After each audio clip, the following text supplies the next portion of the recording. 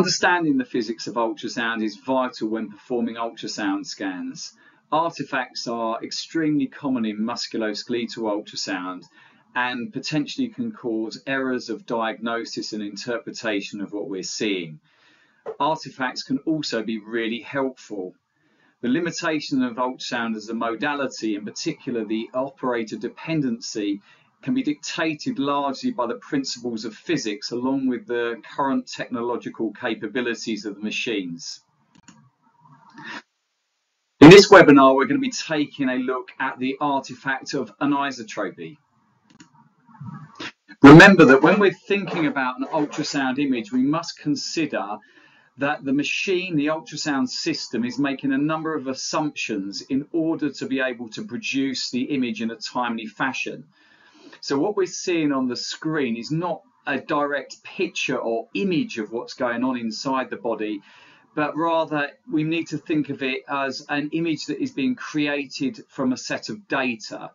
And that data be can become skewed because of some of the assumptions that is being make, made by the ultrasound machine, but also by way of the way in which the ultrasound image is actually being created. And this is really important when we think about anisotropy.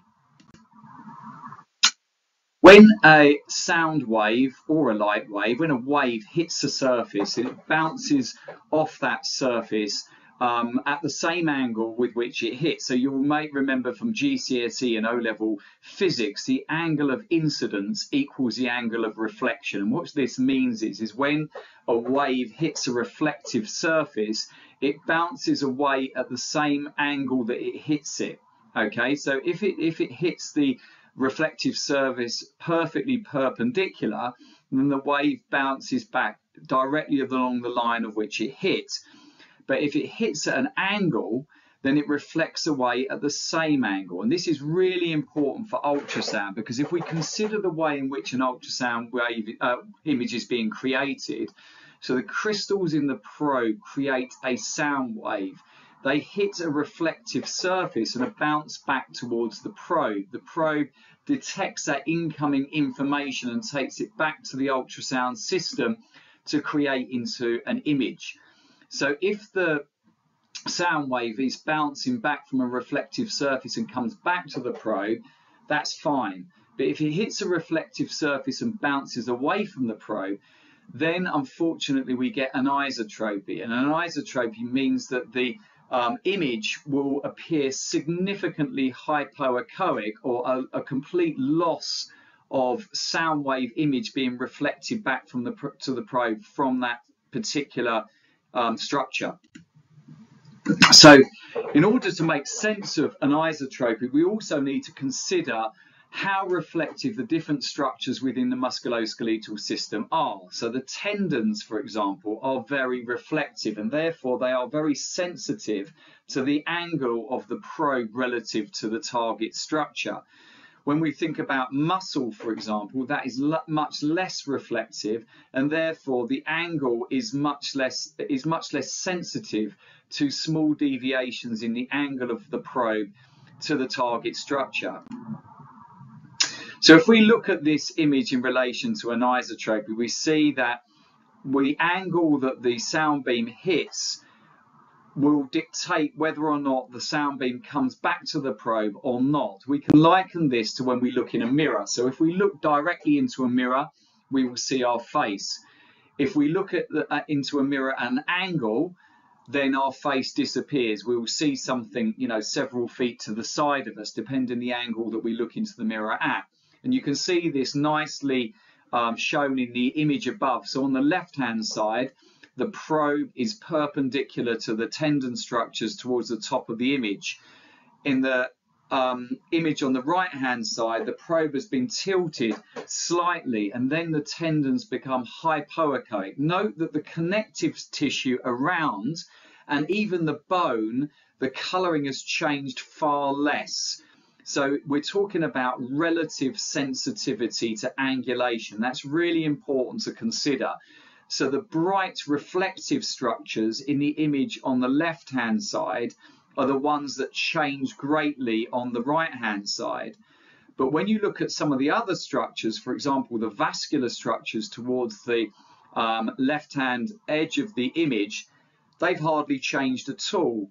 The bone hasn't changed much either, and the connective tissue and the uh, surrounding connective tissue and fat has hardly changed at all in terms of its grayscale appearance. And that's really significant when we're thinking about anisotropy in musculoskeletal imaging. Here's a nice uh, depiction of this when we're scanning a patella tendon. So in the image at the top, the ultrasound probe is perfectly perpendicular to the tendon and we get a really nice bright hyperechoic appearance of the tendon there between the two yellow parallel lines. On the image below, the ultrasound probe has been angulated around 10-15 degrees and we can see that then the tendon looks hypoechoic. This could easily be misinterpreted as pathology or even a tendon rupture.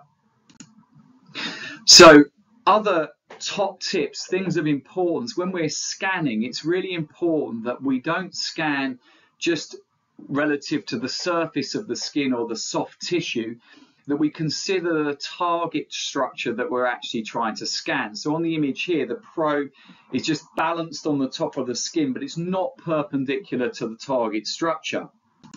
However, if we toe in and we and we uh, and we manipulate the probe and we put pressure on so that it's perpendicular to the structure that we're trying to scan, then we'll get a really nice image. So it's a really important thing to remember and consider when you first start scanning that you need to think about your target structure under the skin and the probe's relative angle and relationship to this structure, not how it sits on the skin. A, a really good practice for this is scanning the long head of biceps. So if you take the long head of biceps from the rotator interval, and you track it down to the bottom of the anterior recess of the shoulder to where the pec tendon comes in, then you need to constantly be changing your angle to maintain the bright appearance of the long head of biceps tendon. That's a really nice way of practicing changing the angle of your probe to maintain the appearance of the structure.